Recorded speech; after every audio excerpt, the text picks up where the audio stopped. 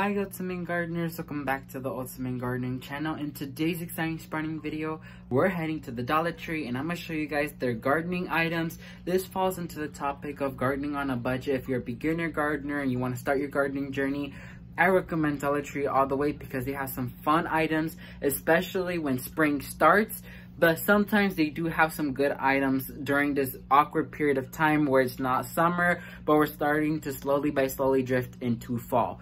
So go ahead and join me to the Dollar Tree.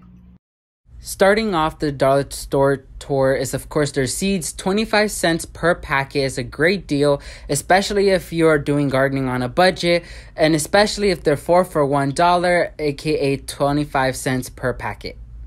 Next, I found a lot of wreath forms or bases. Like, for example, we saw the regular one and carrot one, as well as a lot of fairy garden pieces, which I find very nice and fun to have.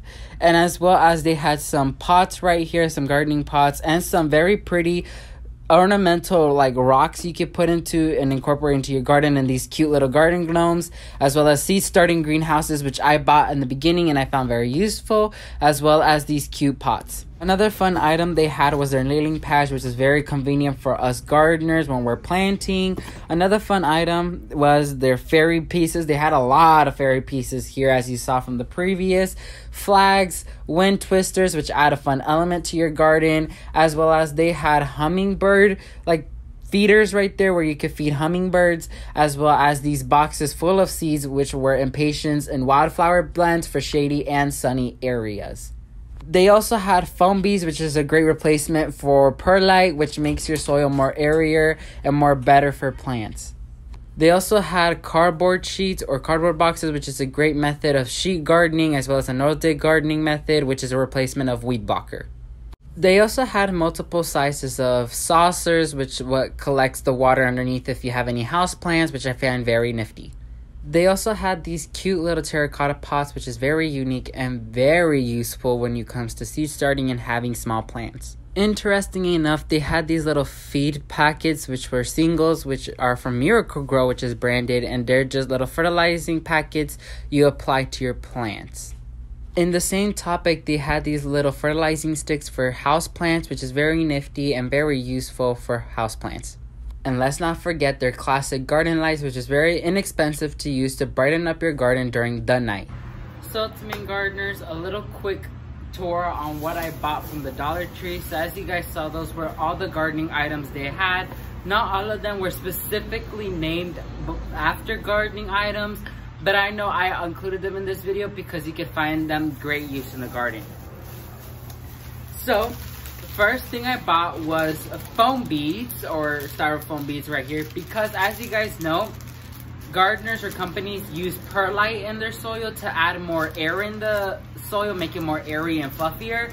So this is another thing you could use to add more airness to your soil or make it more airy. And instead of buying that expensive perlite they sell at the store, you could completely use this because what perlite is, is technically just foam beads that you put into your soil to make it more airy. So this is completely useful for a beginner gardener or whenever you want to create some potting soil. And the next thing, which I went all out and I bought a whole bunch of seeds. So the varieties I bought, so I bought giant cactus mix. I need to restart those. Semi-dwarf plumia mixed colors. Another cactus. I got a lot of bright light mixed colors cosmos because these are amazing. You guys should see how my cosmos did this year. They did amazing. More cactus. I got dark green zucchini. Summer squash right here. Another one. Uh, early summer crookneck summer squash as well. I got two of those. More cosmos. And that's pretty sure what I got the entire rest. Yeah, I got the zinnias and cosmos because they are the best. Especially when they're 25 cents a packet such a steal.